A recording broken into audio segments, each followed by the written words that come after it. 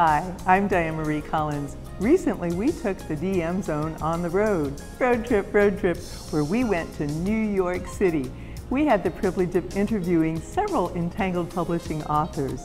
Before we got there, I got to read The Marriage Bargain by Jennifer Probst. Recently, Self Magazine said it's the book that you must read after Shades of Grey. Let's watch. Hi, I'm Dianemarie Collins, and you have entered the DM Zone. I am so excited today to welcome New York Times bestseller Jennifer Probst. Welcome.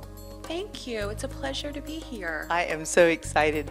Let's talk about that spark. What made you start writing? I have always loved to be a writer. Ever since I was young, and I picked up that notebook and I wrote my first young adult romance and brought it to junior high to read it. I have always loved the books. Self Magazine listed The Marriage Bargain as the next book to read after Fifty Shades of Grey. What do you think of that comparison? When Self Magazine listed The Marriage Bargain as what to read after Fifty Shades, I was blown away. what Fifty Shades did for the market, though, which I love, is that it took the romance genre and it turned it mainstream. And that allows more romance novels to reach more readers, and it makes me work a lot harder so I can reach those readers. How wonderful.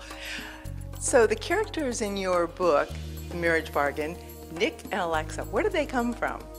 Nick's, uh, Nick and Alexa were very special to me. I love the idea of pitting a bookstore owner with a generous heart, somebody who wants to save her family home. And then she meets Nick, her childhood friend, but he had a terrible past. His parents have completely damaged him. He doesn't believe in love, he doesn't believe in monogamy, and he'll never get married. Oh my goodness. Yes. so you set a marriage of convenience between those two, and the sparks start to fly. I want to know is Nick and Alexa Alexa based on a real person? No, they're not because my brain created something better, bigger than life. The damaged hero who's been completely annihilated by his parents and this wonderful heroine that just jumps off the page and her generosity and kind heart just completely heal him through the journey. I love it. And the marriage bargain, that idea came from the characters or what? I love the idea of a marriage of convenience story. They're my favorite to read and I hadn't seen too many in contemporary novels. So I thought that I'd put a twist with their childhood friends and they grow up and they need to marry.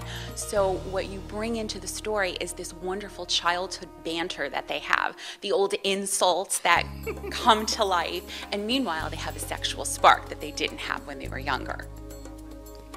This journey that you're on as a New York Times bestseller, kind of a Cinderella story. Tell me about it. It is a Cinderella story, and I found the glass slipper.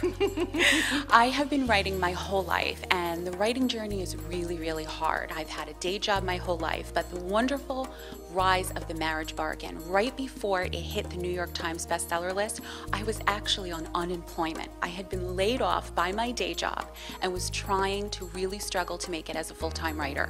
And I had two weeks left of my unemployment, and my book hit number one on the Barnes and Noble list and then hit the New York Times, USA Today, and the Wall Street Journal.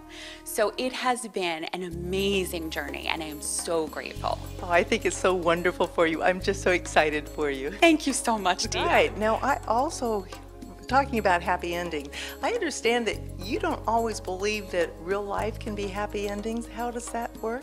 I believe in happy beginnings. I have always believed that since my husband and I met. We met at a bar, and he came up with this fantastic line that still gets me today. He said, I will buy your book if I can buy you dinner.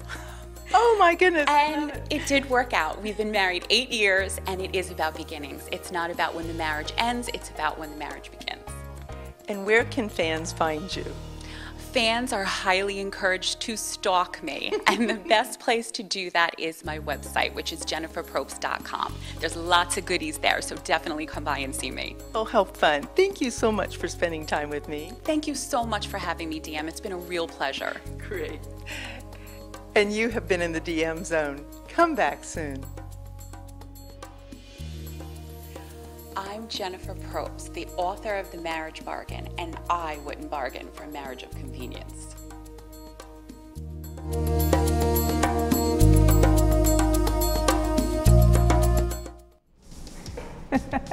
that was so much fun.